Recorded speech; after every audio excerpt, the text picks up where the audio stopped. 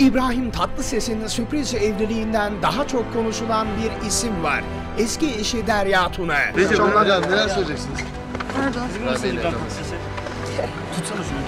Herkes konuştu, o sustu ama dayanamadı ve sessizliğini bozdu nihayet. Derya Hanım bir şey söyleyeceksiniz. Açıklamada bulunmayacak. Petek Dinçöz'ün sorularını yanıtlayan Derya Tuna, nikahtan bir haber olduğunu doğruladı. Nikahtan haberim yoktu. Son dakikada Benim İbrahim Tatlıses'ten beklentim yoktu derken Ayşegül Yıldız'a çok sert vurdu. benim İbrahim Tatlıses'le insanlar konuşuyor ama e, benim hiçbir beklentim yoktu. Ben 3 aydır İbrahim Bey orada yatıyor ve bir kere ziyaretine gittim. Eğer böyle bir beklentim olsaydı her gün orada olurdum. Ben de kapıda yatardım. Hani diyorlar ya neydi? Tekkeyi bekleyen çorbayı içer. Hiç böyle bir çorbada da şeyim yok yani. Nikahtan habersiz olan oğulları İdo'nun da sürpriz evliliği hastanedeyken öğrendiğini ve derhal babasına rest çekerek hastaneyi terk ettiğini açıkladı. Orayı terk etmesinin nedeni de tabii ki bir tepki vermiş yani. Bu bir gerçek.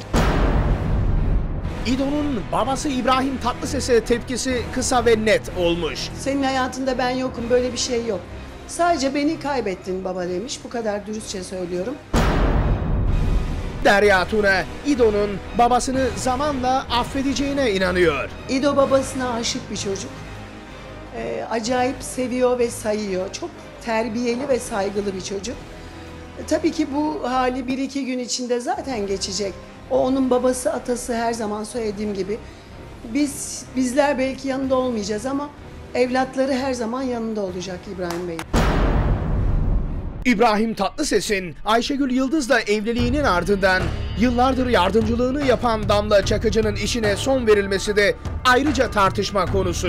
Dedikodular Ayşegül Yıldız'ın Damla Çakıcı'yı kıskandığı için kovdurduğu yönünde. Tabii Allah büyük.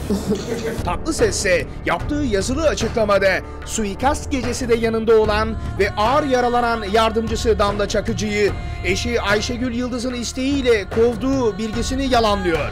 İbo karşılıklı anlaşarak ayrıldık diyor. Vay vay vay.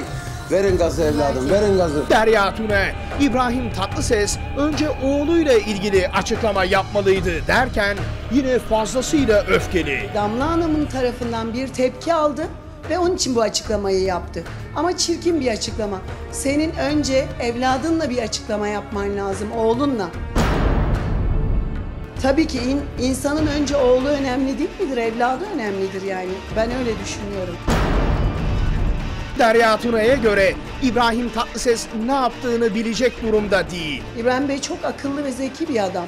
Ama şu anda herhalde zannediyorum ki bunları düşünecek eee, o sağlıkta değil herhalde öyle düşünüyorum.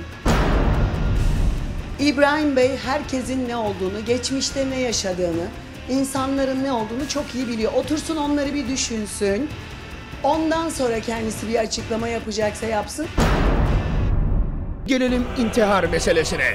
Derya Tuna, İbrahim Tatlıses'in evlilik haberini aldığında büyük şok yaşamıştı. Tuna'nın ağır depresyon nedeniyle intihar ettiği yönünde haberler dahi çıktı. Efendim İbrahim Tatlıses evlendi. Neler diyeceksiniz? Lütfen bir açıklama yapabilir miyiz? Hanımefendi intihar dedikodusunu da yalanladı. Bir de intihar etmişim. Ben intihar niye edeyim yani? İntihar edilecek bir durum yok ki. İntihar etmem için bir sebep yok. Ve İbrahim Tatlıses'e misilleme. Siz de evlenecek misiniz sorusuna verdiği yanıt kafa karıştırıyor. Sabahleyin hava çok güzeldi. Ama şu anda yağmur yağıyor. Bundan sonra ne olacağını hiç kimse bilemez. Herkes kaderini yaşar. Yakında çok güzel bir sürprizim olabilir. Ya Perihan Savaş, İbrahim Tatlıses'in bir başka eski eşi ve kızı Melek Zübeyde'nin annesi Perihan Savaş'ın nikahı bir hafta önceden bildiği iddia edildi. Öldürecek beni şimdi. Hatta Perihan Savaş'ın artık gelinimiz oldun diyerek Ayşegül Yıldız'a bilezik taktığı öne sürülüyor. Ben İbrahim Bey'i seviyorum deyip duruyor. Bakıyoruz böyle. Derya Tuna Habertürk gazetesinden İzzet Çapa'ya verdiği röportajda da Perihan Savaş'ı yerden yere vuruyor. Aynen şöyle diyor. Birbirlerini nasıl abla kardeş gibi görürler? O senin ablansa ne işin var ablanın eski kocasının yatağında? Bunun karşılığı ensest. Perihan Hanım daha önce de Asena ile gülerek pozlar veriyordu. Sen aynı yatağı paylaştığın adamın beraber olduğu her yeni kadına ablalık yaparsan Tony